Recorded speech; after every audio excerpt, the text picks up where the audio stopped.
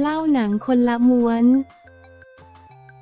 คดีสอบพลิกดราม่าเป็ดรั่วสาวเจ้าของพูลวิลล่าจ่อฟ้องกลับจ่อแจ้งฟ้องกลับสาวเจ้าของพูลวิลล่า เปิดใจหนังคนละม้วนลูกค้าแบกเป็ดยางขึ้นโรงพักอ้างถูกเรียกเงินค้าปรับทำรั่ว ลั่นลดให้สี่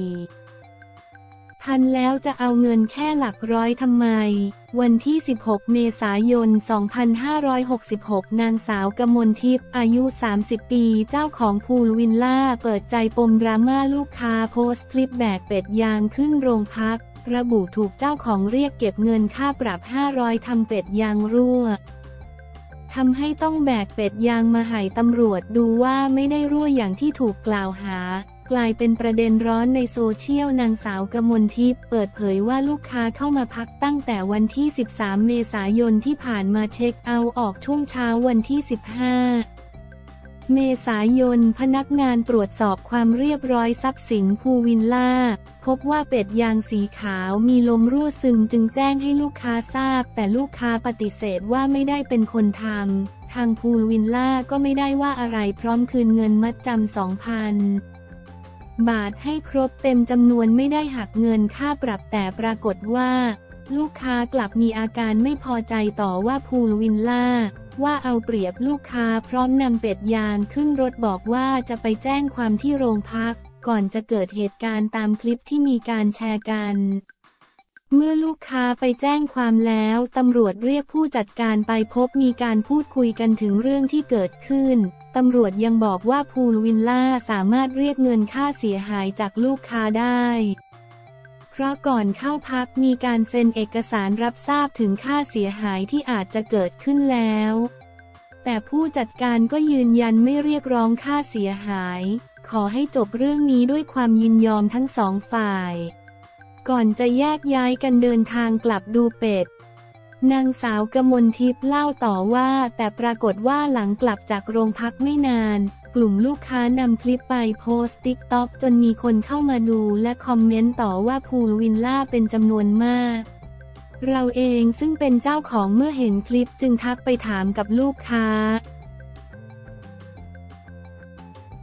ว่าทำไมลงคลิปสร้างความเสื่อมเสียให้ภูลวินล่าเราแบบนี้ แต่กลับถูกต่อว่าและส่งขอความมาข่มขู่ตลอดเวลา อ้างว่ารู้จักคนใหญ่คนโตเยอะ ขอให้เราเตรียมตัวให้ดีว่าจะเจออะไรบ้าง แต่เราก็ไม่ได้ตอบโต้อะไรขู่ ที่ออกมาพูดวันนี้ เพราะอยากได้รับความเป็นธรรม และอยากชี้แจงข้อเท็จจริงให้สังคมได้รับรู้ ว่าเราทำธุรกิจด้วยความโปร่งใส ไม่ได้คิดจะเอาเปรียบลูกค้าอย่างที่ถูกกล่าวหา ลูกค้ากลุ่มนี้บอกว่าทำธุรกิจเป็นเจ้าของแพรอยู่ที่อำเภอศรีสวัสดิ์ เป็นคนเมืองการเหมือนกัน จึงขอส่วนลดค่าที่พักคืนละ 2,000 บาท จากราคาเต็มคืนละ 12,900 บาท เหลือเพียงคืนละ 1,900 บาท เราก็ลดให้ 4 พันบาทดังนั้นเราจึงไม่มีความจำเป็นต้องมาเอาเงินลูกค้าค่าเป็ดรั่วหลักร้อย ไม่เข้าใจว่าทำแบบนี้ทำไมภูวิลล่าเราเปิดให้บริการมาเกือบปี มีลูกค้ามาใช้บริการเต็มทุกวันไม่เคยมีปัญหาแบบนี้มาก่อน หลังจากนี้จะได้ปรึกษาทนายความว่า เรื่องนี้สร้างความเสื่อมเสียชื่อเสียงให้ภูวิลล่าอย่างมาก จึงอาจต้องมีการฟ้องร้องดำเนินคดีกับผู้โพสต์ตามกฎหมาย อ่านงงทั้งโรงพักแบกเป็ดยางเป่าลมแจ้งความ ถูกภูวิลล่าเรียกเก็บค่าปรับ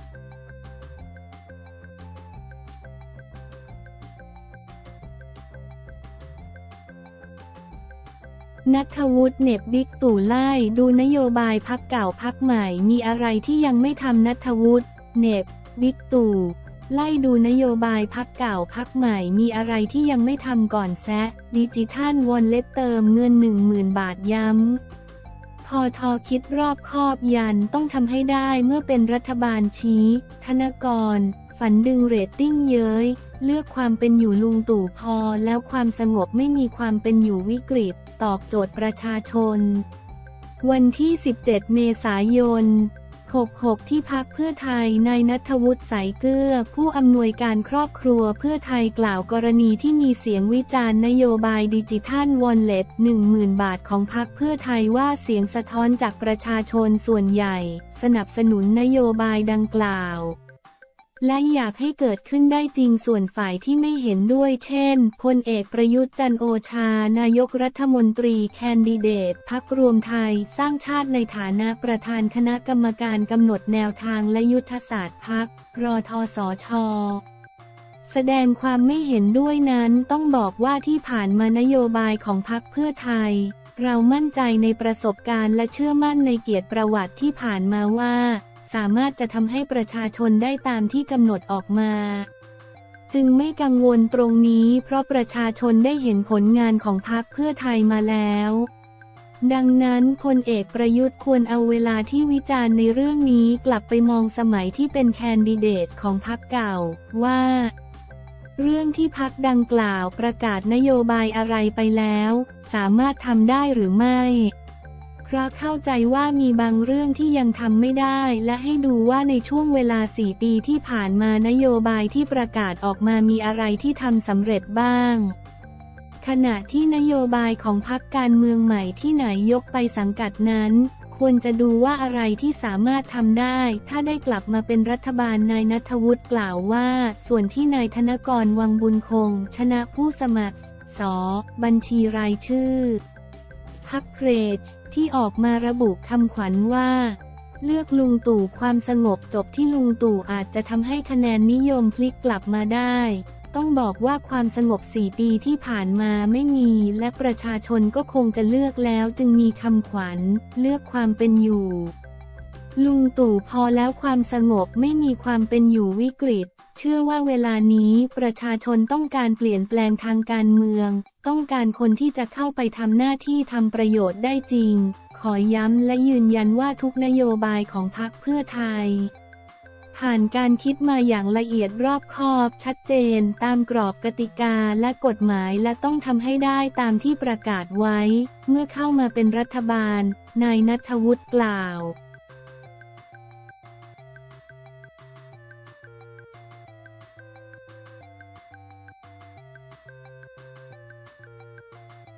รอทอสอชอปล่อยคลิปบิ๊กตู่ขอคะแนนเสียงแก้เกมหลังมีบางพรรคโหนกระแสรวมไทยสร้างชาติปล่อยคลิปบิ๊กตู่ขอคะแนนเสียงประชาชนเลือกพรรครอทอสอชอ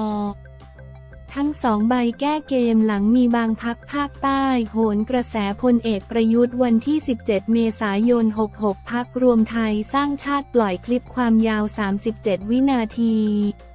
ขอคะแนนเสียง โดยพลเอก ประยุทธ์จันโอชา นายกรัฐมนตรีในฐานะประธานยุทธศาสตร์ และแคนดิเดต นายกรัฐมนตรีของพรรครวมไทยสร้างชาติ รอทอสอชอ